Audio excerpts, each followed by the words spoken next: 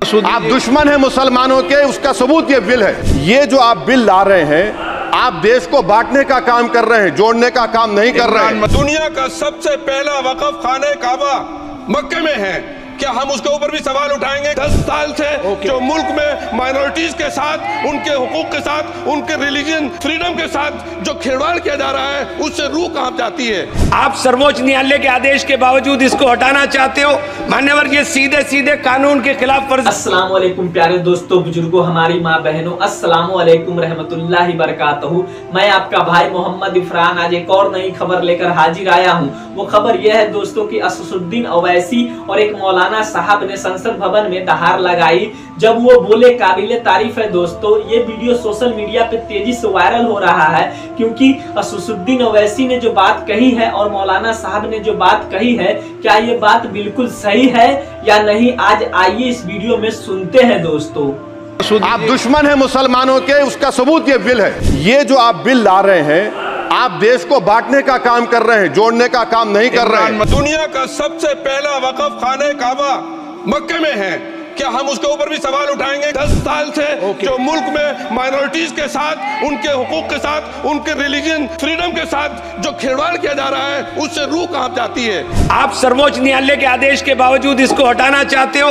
मान्यवर ये सीधे सीधे कानून के खिलाफ फर्जी है। हम कहना चाहते हैं कि संविधान की अगर धज्जियाँ उड़ाने का काम आप करने का काम कर रहे हो। हम इसका पुरजोर विरोध करेंगे और पुरजोर विरोध करने का काम करते हम अपने वकार को अपनी इज़्ज़त को अपने मुल्क की अपने शान को अपने संविधान को खुद अपने पैरों तले रोंद रहे हैं।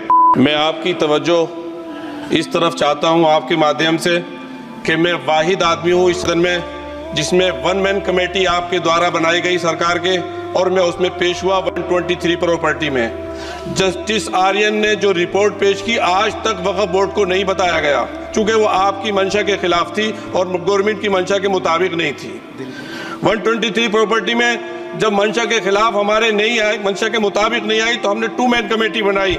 और टू मैन कमेटी ने भी कोई रिपोर्ट वक्फ बोर्ड को नहीं दी, जबकि वक्फ एक्ट जो है 1995 जो है, वो पार्लियामेंट से पास शुदा है कि हम पार्लियामेंट के जो जो एहतराम है, उसका नहीं कर रहे, उसके हकूक का। इसी तरह से सर, सूबाई हुकूमतों को इख्तियार दिया गया। सर, हिंदू एंडोमेंट में जो कर्नाटका और तमिलनाडु में है, वहाँ कोई मुस्लिम नहीं हो सकता। और 26 में, आर्टिकल 26 का वायोलेशन है, चार धाम में, ये लिखा हुआ वाजे तौर पर कि सिर्फ़ हिंदू होगा। बिहार, उड़ीसा में भी यही लिखा हुआ है। पंजाब, हरियाणा में गुरुद्वारा प्रबंधन कमेटी में सिर्फ़ सिख होगा ओनली। और ये उनका अधिकार है, जिसको माना गया है। लेकिन मुस्लिम के साथ में यह अन्याय क्यों है? और सुन लीजिए, सर सर, मैं आपकी तवज्जो के चाहता हूँ। दुनिया का सबसे पहला वकफ खाने काबा मक्के में है। क्या हम उसके ऊपर भी सवाल उठाएँगे कि वहाँ पर भी हमारा कोई हिंदू भाई हो? हम अपने वकार को, अपनी इज़्ज़त को, अपने मुल्क की, अपने शान को, अपने संविधान को खुद अपने पैरों तले रोंद रहे हैं। और वकफ एक मुसलमानों का मजहबी अमल है, एक मजहबी फरीजा है। इससे उनको महरूम कॉन्स्टिट्यूशन के ज़रिए से भी कोई ताकत नहीं कर सकती। सर, ये हम बहुत बड़ी गलती करने जा रहे हैं, जिसका खुमियाजा हमें अभी नहीं, सदियों तक हम भुगतते रहेंगे, क्योंकि हम खुद अपने कॉन्स्टिट्यूशन को, संविधान को, उसकी पावाली कर रहे हैं। अगर हमें इस सिलसिले में मैंने सर पूरा पूरा मैंने उसको मध्यम से पढ़ा है और मैंने पूरी चालीस तरामीम जो उसमें गलत है, उसको लिखकर दिया, लिखकर जो है वो मैं लेकर आया हूँ। सर, इसके ज़रिए से सरकारी अमले को बाजाबता तौर पर यह हक आखिर कलेक्टर को दिया जा रहा है। सर्वे कमिश्नर के इख्तियार ख़त्म किए जा रहे हैं। आखिर सर्वे कमिश्नर भी तो गवर्नमेंट ऑफ़ इंडिया का होता है। सर, ऐसे कैसे कर सकते हैं हम? और फिर सर उसमें मेरे मज़हब के मुतालिक चीज़ें हैं तो वो कैसे कोई दूसरा तय करेगा? क्या कुरान में क्या लिखा है फ़िका में क्या लिखा है इस्लाम में क्या लिखा है ये आप तय करेंगे या मैं तय करूँगा? सर इससे इससे हम मज़हब में दखल अंदाजी कर रहे हैं इंटरफेरेंस ऑफ़ द रिलीजन कर रहे हैं। सर सर सर इस इस तरह के कवानीन से ओके। मुल्क की शाख को नुकसान पहुंचेगा। कॉन्स्टिट्यूशन की स्प्रिट हम खत्म कर देंगे और अगर ये होगा तो कोई भी अकलियत कोई भी माइनॉरिटी अपने आप को हिंदुस्तान में सेफ़ नहीं पहुँच Okay. सेफ़ नहीं करेगी पिछले दिनों सिखों के साथ भी ये हुआ Okay. और कुछ कहते हैं ईसाई भाइयों के साथ भी इस तरह के वाकयात हुए हैं जिसकी वजह से सब लोग अपने आप को असहाय महसूस कर रहे हैं दस साल से Okay. जो मुल्क में माइनॉरिटीज के साथ उनके हुकूक के साथ उनके रिलीजन फ्रीडम के साथ जो खिलवाड़ किया जा रहा है उससे रूह काँप जाती है Okay. और दिल ऐसा महसूस होता है कहीं ऐसा ना हो कहीं ऐसा ना हो कि जनता इन हुकूक के लिए कॉन्स्टिट्यूशन Okay. को बचाने के लिए दोबारा सड़कों पर आ जाएगी sir okay Thank you, sir. Sir, I have given a notice under Rule 72 to oppose the WAF Amendment Bill. Sir, I oppose the introduction of the bill under Rule 72-2 on the grounds that this House does not have the competence to make these amendments. This bill patently violates the principles provided in Article 14, 15 and 25, sir. It is both discriminatory, arbitrary. It is a grave attack on the basic structure of the Constitution as it violates the principle of judicial independence, separation of powers. Sir, one thing has to be understood that the work management of a property is an essential religious practice for a Muslim. By denying legal recognition to Waqf al Aulad under clause 4 and Waqf by user under section 3R1, government has sought to severely restrict how Muslims can manage their Waqf property. Sir, in fact, Hindu endowment boards, I challenge, Hindu endowment boards are recognized even by usage and custom. Here you are asking for documentation. No existing law, uh, whether non-religious or personal, limits the right of a person to will their property or dispose it. But what you are doing over here, a Hindu can give through will his complete property to his uh, to his uh, uh, to his daughter or son.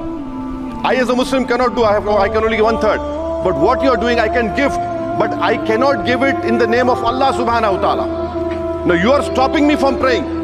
Now what you are doing, you are restraining waqf al aulad that is not only discriminatory and violate Article 25, sir. There is no limit on anyone to, to will their property dispose of. Sir, to insist that a person has practiced Islam for five years, my sir, sir एक दो minute दिए सबको आप अगर कल कोई आके बोलेगा कि नहीं मैं पाँच साल से इस्लाम प्रैक्टिस नहीं कर रहा हूँ कौन डिसाइड करेगा सर और एक न्यू कन्वर्ट है Does he has to wait for five years to give his property to Waqf? Isn't that violation of uh, right to freedom of religion? Sir, another point, sir. Now, no such provision exists for Hindu endowment or Sikh Gurdwara Prabandhak Committee.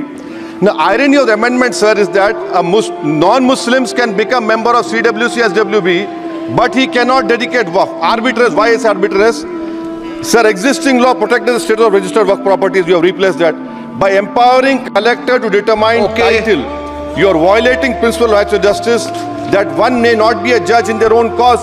Section 61. If DOM says to Matavalli, uh, make this masjid as a government property, if does not listens, punishable offense. This is this is against, against separation of powers, part of which is basic structure.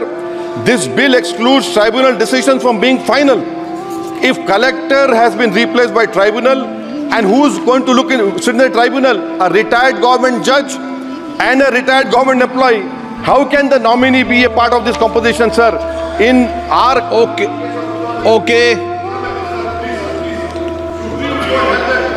secretary आप level detail officers में बोल देना officer मैंने मैं sir मैं खत्म कर रहा हूं secretary level officers can be appointed technical members 83 states that joint secretary added tribunal work properties sir are not public properties By removing work by user this government wants to take over dargah masjid and work properties sir take this example of 107 you have made it more difficult to be to be to, to be removed encroachment happen section 37 removes protection to work properties section 40 prejudicial amendments and uh, and the government is sir खत्म कर government बोल रही है डि- sir मैं, खत्म कर रहा हूँ सर ये आधा मिनट गवर्नमेंट कह रहे हैं कि हम महिलाओं को दे रहे हैं मुझे यकीन है कि आप बिल्किस बानो को और जकिया जाफरी को मेंबर बनाएँगे? मुझे यकीन है।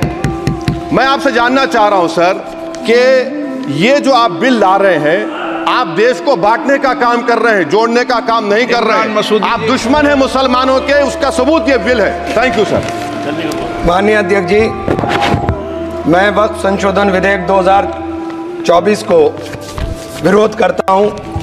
मान्यवर हम लोग संविधान की कसम खा करके यहाँ आए और इस संविधान की धज्जियाँ इस विधेयक के अंदर उड़ाने का काम किया जा रहा है। आर्टिकल पंद्रह के अंदर धर्म, नस्ल, जाति, लिंग, जन्म, स्थान के आधार पर भेदभाव करने को मान्यवर। मैं आपकी हँसी को समझ रहा हूँ, लेकिन ये बहुत गंभीर और महत्वपूर्ण विषय है। अभी हमारे माननीय सदस्य कह रहे थे कि मंदिर और मस्जिद के मसलों में फ़र्क नहीं कर पा रहे। मैं बताना चाहता हूँ, वक्फ बोर्ड मस्जिदों का प्रबंधन करने का काम करता है।